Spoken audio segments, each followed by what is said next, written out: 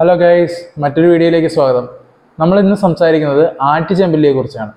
നമ്മൾ ഈയിടെയായിട്ട് വീഡിയോ ചെയ്യുന്നതെല്ലാം നമ്മുടെ അലങ്കാര മത്സ്യങ്ങൾ അതായത് ഇൻഡിജീനസ് ഓർണമെന്റൽ ഫിഷസ് നമ്മുടെ നാടൻ അലങ്കാര മത്സ്യങ്ങളുടെ ബ്രീഡിങ് അതിന്റെ കെയർ അതുപോലെ എന്തൊക്കെ ഭക്ഷണങ്ങൾ കൊടുക്കാം വളർത്താനുള്ള സാധ്യതകൾ അങ്ങനെയുള്ള എക്സ്പോർട്ട് മാർക്കറ്റ് അങ്ങനെയുള്ള എല്ലാ കാര്യങ്ങളെക്കുറിച്ചാണ് ചർച്ച ചെയ്യുന്നത്. അതിലത്തെ ഏറ്റവും പ്രധാനപ്പെട്ട ഒരു മത്സ്യം തന്നെയാണ് ആറ്റിച്ചെമ്പല്ലി എന്ന് പറയുന്നത്. ആറ്റിച്ചെമ്പല്ലിയുടെ സയന്റിഫിക് നെയിം എന്ന് പറയുന്നത് ക്രിസ്റ്റോലപ്പിസ് മർഗേറ്റ എന്നാണ്. അതേപോലെ തന്നെ അതിന്റെ കോമൺ നെയിമായിട്ട് വരുന്നത് അല്ലെങ്കിൽ നമ്മൾ പൊതുവെ വിളിക്കുന്നത് മലബാർ ലീഫ് ഫിഷ് എന്നാണ്. നമ്മുടെ മിക്ക സ്ഥല മിക്ക സ്ഥലങ്ങളിലും അതായത് ശുദ്ധജലത്തിൽ ഒഴുക്കുള്ള വെള്ളത്തിൽ മിക്ക സ്ഥലങ്ങളിലും കാണപ്പെടുന്ന ഒരു മത്സ്യമാണ് ആറ്റിച്ചെമ്പല്ലി എന്ന് പറയുന്നത്. പൊതുവെ ഇവയുടെ ആ ഷേപ്പും അതുപോലെ തന്നെ ഇവർക്കുണ്ടാകുന്ന ഒരു ചുമന്ന കളറും അതിനെയാണ് പൊതുവെ നമ്മൾ ചെമ്പല്ലി എന്നൊരു പ്രയോഗം കൊണ്ട് കാണുന്നത്. നമ്മൾ കൂടുതലായിട്ട് അതിനെ കണ്ടുവരുന്നത് നമ്മുടെ മാവേലിക്കര പോലെയുള്ള ആറ് കാണുന്ന സ്ഥലങ്ങളിലും അതുപോലെ അച്ചൻകോവിലും മറ്റു സ്ഥലങ്ങളിലെല്ലാം പുഴയുള്ള സ്ഥലങ്ങളിലും ഒഴുക്കുള്ള വെള്ളത്തിൽ ഒക്കെയാണ് നമ്മളിതിനെ കണ്ടുവരുന്നത്. അപ്പോൾ ഈ ആറ്റുചെമ്പല്ലിയുടെ പ്രത്യേകത എന്ന് വെച്ച് കഴിഞ്ഞാൽ കാണുമ്പോൾ തന്നെ അവയെ നമുക്ക് ഏകദേശം ഭക്ഷണയോഗ്യമായിട്ടും അതുപോലെ സൈസ് ചെറുതായിരിക്കുമ്പോൾ അലങ്കാര മത്സ്യമായിട്ടും നേരത്തെ നമ്മൾ കുറേ വീഡിയോ ഇട്ടിട്ടുണ്ട്. അലങ്കാര മത്സ്യമായിട്ടും അതുപോലെ തന്നെ ഭക്ഷണയോഗ്യമായിട്ടും കഴിക്കാവുന്നതും ആയിട്ടുള്ള രണ്ട് മൂന്ന് മത്സ്യങ്ങൾ ചെയ്തിട്ടുണ്ട്. അതിന്റെ ഗണത്തിൽപ്പെടുത്താവുന്ന ഒരു മത്സ്യം തന്നെയാണ് ആറ്റിച്ചമ്പല്ലി എന്ന് പറയുന്നത്. അപ്പോൾ ഈ ആറ്റിച്ചമ്പല്ലിയുടെ പ്രത്യേകത എന്താണ്? നമ്മുടെ സിക്ലേറ്റ് വിഭാഗത്തിൽപ്പെടുന്ന മറ്റ് ജീവികളെ പോലെ അല്ലെങ്കിൽ നമ്മുടെ കരിമീൻ തിലാപ്പിയ അങ്ങനെയുള്ള മത്സ്യങ്ങളെ പോലെ തന്നെ ഏകദേശം കാണാൻ അത്യാവശ്യം പരന്നതും അതിനോടൊപ്പം തന്നെ കടപിടിക്കുന്ന രീതിയിൽ മാംസം ലഭ്യമാവുന്ന ഒരു മത്സ്യമാണ് നമ്മുടെ ആറ്റിച്ചമ്പല്ലി എന്ന് പറയുന്നത്. ഏകദേശം ചില സമയങ്ങളിൽ കണ്ടു കഴിഞ്ഞാൽ നമ്മുടെ അനഭാസമായിട്ട് ഏകദേശം താരതമ്യം കാണുന്നതായിരിക്കും. അതുപോലെ ഫ്രഷ് വാട്ടറിലായതുകൊണ്ടും ഒഴുക്കിലുള്ള ആ ഒരു മത്സ്യമായതുകൊണ്ടും അല്ലെങ്കിൽ പുഴ മത്സ്യമായതും പുഴ മീനായതുകൊണ്ട് തന്നെ അത്യാവശ്യം ടേസ്റ്റും മലയാളികൾക്കിടയിൽ നല്ല രീതിയിൽ തന്നെ ഒരു പേരുമുള്ളൊരു മത്സ്യം തന്നെയാണ് ആറ്റുചെമ്പല്ലി എന്ന് പറയുന്നത്.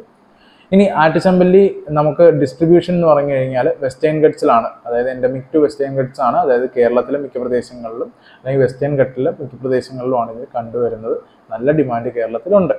അടുത്തതായിട്ട് നമുക്ക് പോകേണ്ടത് ഇവയുടെ മാർക്കറ്റ് അതുപോലെ തന്നെ മാർക്കറ്റ് വാല്യൂ അലങ്കാര മത്സ്യമായിട്ട് തന്നെ ഏകദേശം മൂന്ന് നാല് യൂ യൂറോയുടെ അടുത്ത് തന്നെ വില പുറം രാജ്യങ്ങളിൽ കിട്ടാറുണ്ടായിരുന്നു.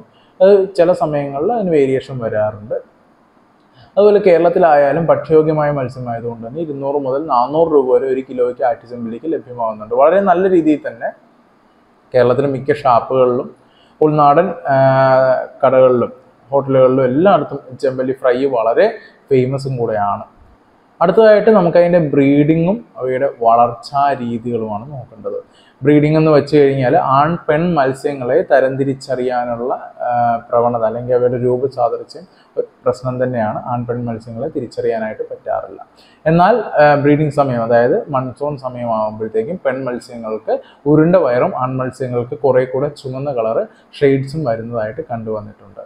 അതുപോലെ തന്നെ ഇവർ ഒരു പരിധി വരെ മറ്റു മത്സ്യങ്ങളെ പോലെ സിക്ലോഡ് വിഭാഗത്തിലെ മറ്റു മത്സ്യങ്ങളെ പോലെ തന്നെ ഇവർ സിക്ലോഡ് വിഭാഗം അല്ലെങ്കിൽ പോലും സിക്ലിഡ് വിഭാഗത്തിലെ മറ്റ് മത്സ്യങ്ങളെ പോലെ തന്നെ മക്കളെ പരിപാലിച്ചു കൊണ്ടുവരുന്ന ഒരു രീതി ഇവയ്ക്കുണ്ട്.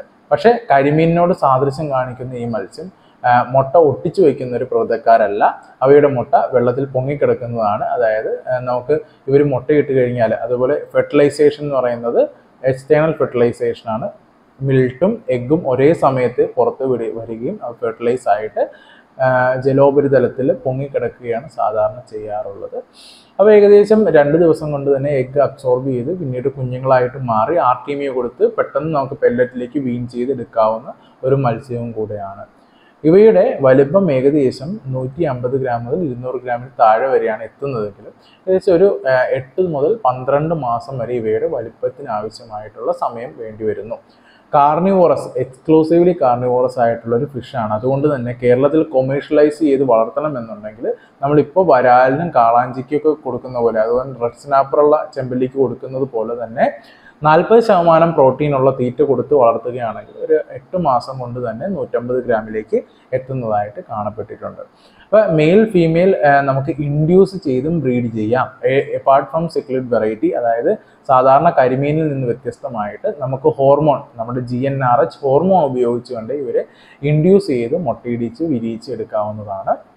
കേരളത്തിൽ അടുത്തതായിട്ട് വരാൻ പോകുന്ന ശുദ്ധജല മത്സ്യങ്ങളിൽ ഏറ്റവും പ്രധാനപ്പെട്ട ഒരു മത്സ്യമാണ്. അതായത് ഞാൻ പറഞ്ഞു നമ്മുടെ ടേസ്റ്റുള്ള പുഴമീനിൽ ഏറ്റവും പ്രധാനപ്പെട്ടതായതുകൊണ്ട് തന്നെ ഇവയെ ഉറപ്പായിട്ടും ഒരു കാൻഡിഡേറ്റ് അക്വാകൾച്ചർ സ്പീഷീസ് എന്ന രീതിയിൽ തന്നെ കേരളത്തിൽ മറ്റ് പ്രദേശങ്ങളിലേക്ക് വ്യാപിപ്പിക്കാനും ശുദ്ധജലത്തിൽ നല്ല രീതിയിൽ തന്നെ വളർത്തിയെടുക്കാനും പറ്റുന്ന ഒരു മത്സ്യമാണ് ആറ്റുചെമ്പല്ലി എന്ന് പറയുന്നത്.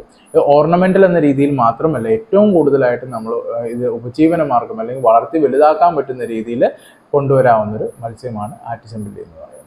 വീഡിയോ ഇഷ്ടമായെന്ന് വിചാരിക്കുന്നു. ഇഷ്ടമായെങ്കിൽ സബ്സ്ക്രൈബ് ചെയ്യുക സപ്പോർട്ട് ചെയ്യുക കമന്റ് ചെയ്യുക. തീർച്ചയായും വേണ്ട മത്സ്യങ്ങളെക്കുറിച്ചും അതിന് ആവശ്യമായിട്ടുള്ള രീതികളെക്കുറിച്ചും എല്ലാം കമന്റ് ചെയ്യുക. സംശയങ്ങളും നിർദ്ദേശങ്ങളും വിമർശനങ്ങളും എല്ലാം കമന്റ് ചെയ്യുക. നമുക്ക് തീർച്ചയായിട്ടും മുന്നോട്ട് പോകാം. താങ്ക്